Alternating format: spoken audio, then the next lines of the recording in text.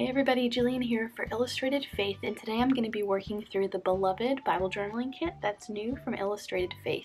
This one is so fun, I'm so excited to jump in. This month's contributor is Mary, and her art is just so gorgeous, and I'm excited to get to play with some different things today. So I'm on the first session where she has us in 1 John 4.10, which is where I'm going to be journaling today. Um, and then she also has us look at John 3.16, Lamentations 3.22 and 23, and then talks about claiming his love for us, letting us know that we are his beloved, and then what that looks like to claim his love. So I was inspired by the colors on this half of the devotional booklet.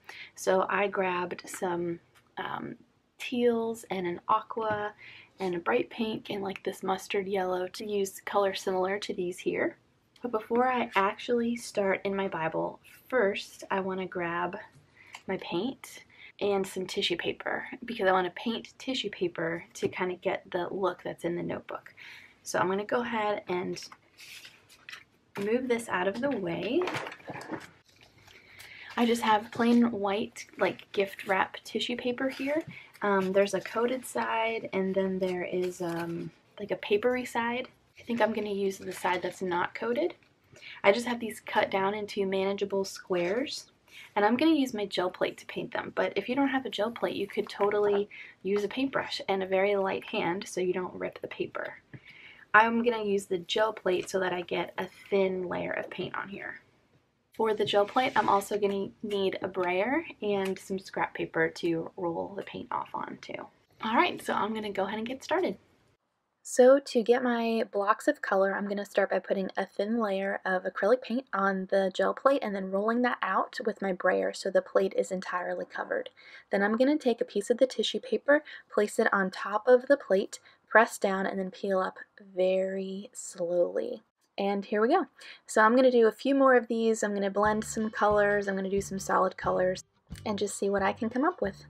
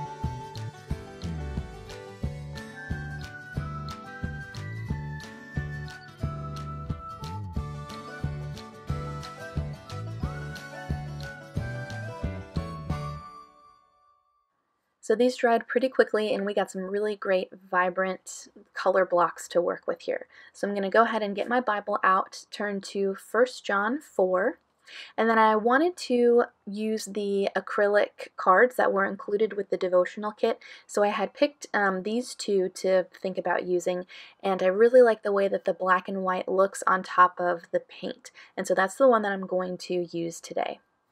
The acrylic is pretty thick, so I took a pair of heavy-duty sharp scissors and just did like a general fussy cut around the area of this hand holding the flowers with the butterfly, and I especially love how it looks on this gradient. So my plan kind of half-baked plan here is to tear off pieces of the tissue paper.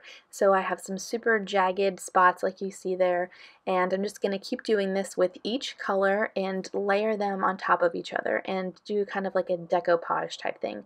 I'm going to get out some Mod Podge and layer them on top of each other or layer them together and then place the transparent piece on top. I wasn't really successful with tearing it, um, so I decided to grab my scissors at this point and just start um, cutting off the excess tissue paper. So I'm simply using Mod Podge and a paintbrush to apply just a few little swipes of Mod Podge to each piece and then once everything is down where I want it I'm gonna cover it cover all of the edges so that they kind of stay down and so I have an idea of where I want to use this transparent piece and I'm just layering up the tissue paper in a way that I think will look interesting underneath it. I've never really done anything like this, so it was fun to try something new. The finished product is not my favorite, but I really liked the process of just trying something different that was new to me. I think my biggest issue with this is I didn't leave enough white space on my page. I filled up the whole margin in this illustrating Bible and there is a lot of color. But really, I like to incorporate white space in my pages so that there's like somewhere for your eye to like get a break. and that didn't really happen here. So I'm just going to speed this up and let you watch me um, layer each piece in the margin of my Bible here.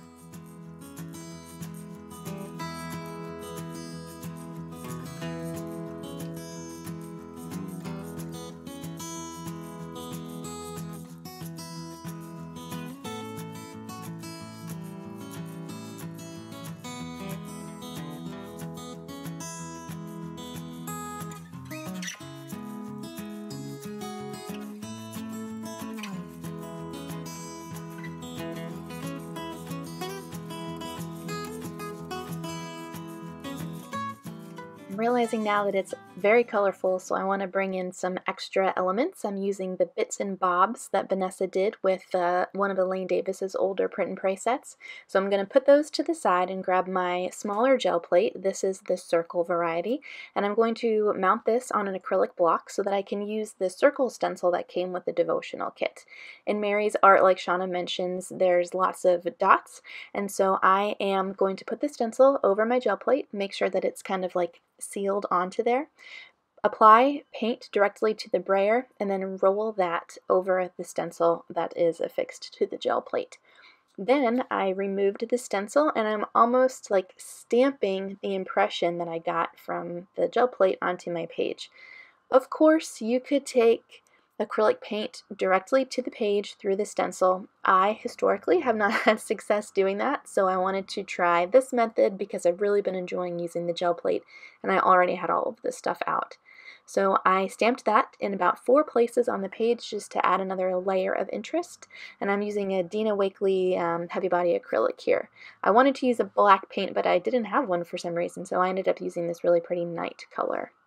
Next, I'm going to adhere the transparent piece to my page. I just used my tape runner in the darkest places on the transparent piece so that you couldn't see the adhesive.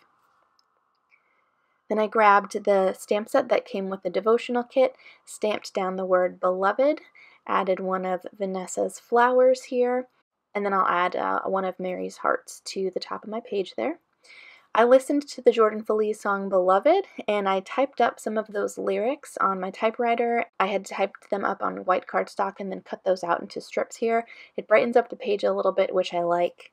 And then I added some more heart stamps from that same Alpha stamp set.